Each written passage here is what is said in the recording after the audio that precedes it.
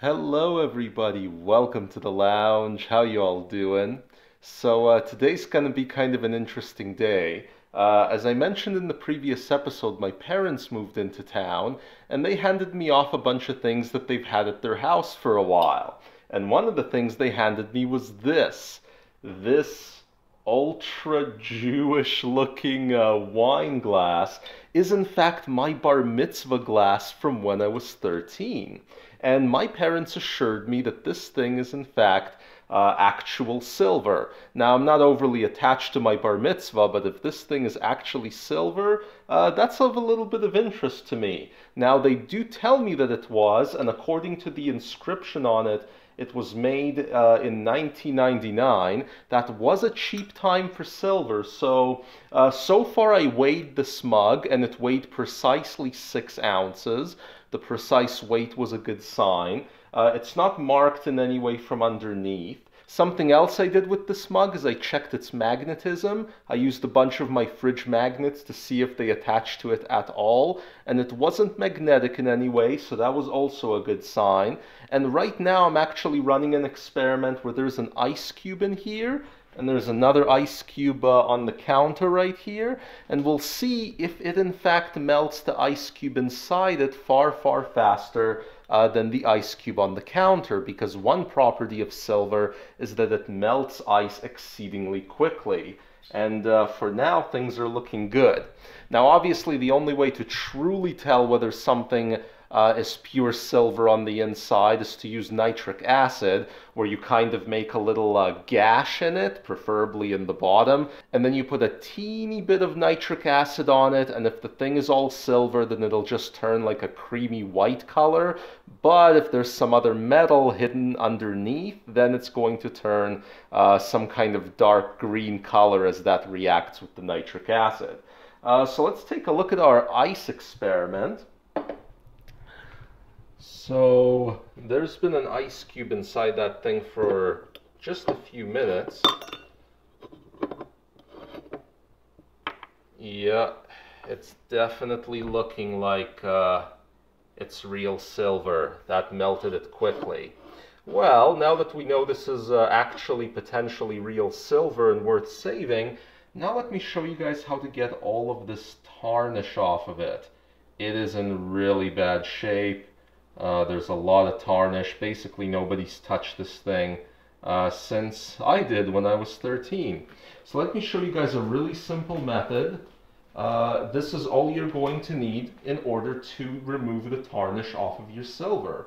You need uh, roughly two and a half cups of hot water. I'm going to heat that up right now. You're going to need uh, some kind of container for your item. That's ideally a good fit for your item. You're going to need aluminum foil and you're going to need uh, roughly half a cup, let's say, for every gallon of water. So since we only have two and a half cups of water roughly, uh, I went with a quarter cup of baking soda right there. That's the baking soda. And I've seen a lot of variations of this where people use more or less salt. Uh, I went with about half the amount of salt uh, that I did with baking soda just regular table salt. So let me heat up the water and show you guys how it's done. Alrighty everybody, now we have our borderline boiling water right here and we've taken out a piece of aluminum foil. Now every piece of aluminum foil has a darker side and a shinier side you're going to make sure you want the shiny side facing upwards towards your silver because we're going to make a chemical reaction to make the shiny part of the aluminum foil attract the tarnish on the silver. But first we just take our baking soda and we slowly mix it in. It's going to foam. If you do it too quickly, it might foam a little too fast. And then we're going to add the table salt.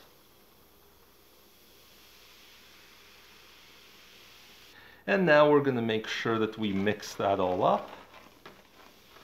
It's bubbling quite a bit. And now we want to take the aluminum foil and we want to make sure that we are lining the container.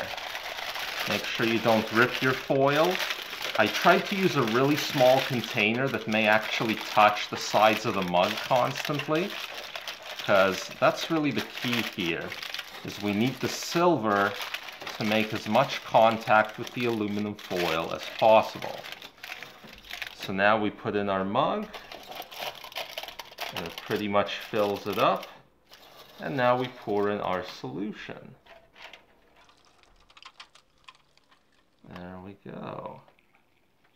Pour it in until it's full. And even though we did our best here, you're going to need to move around the smug, but if you really zoom in into this, you can see a whole bunch of bubbles coming off, and that's your sign that this is working, that the chemical reaction between the aluminum foil and the tarnish is taking place, and you can already see how much brighter the silver is. This is going to soak a little bit, you move it around, and I'll show you guys the end result in a minute. Voila, here we are everybody, and this is what the mug looks like after just one treatment of table salt, baking soda, and hot water. We certainly got a lot of the tarnish off, though uh, it could probably use another treatment.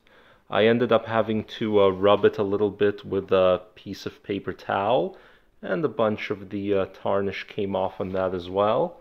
But uh, otherwise, real easy and successful. Though, once again, we have not proven beyond a reasonable doubt that it is fully 100% silver, or rather 92% silver, which is more common. Uh, to do that, you do need to use the nitric acid method. I'll link to it in the description if you want to know more about it. Uh, but if this is in fact sterling silver and is 92.5% uh, silver, then most likely uh, it is worth about 190 Canadian dollars right now, uh, based on the current price of silver. There you go, guys. Hope this was educational. If so, subscribe, hit that like button, and we'll see you all next time.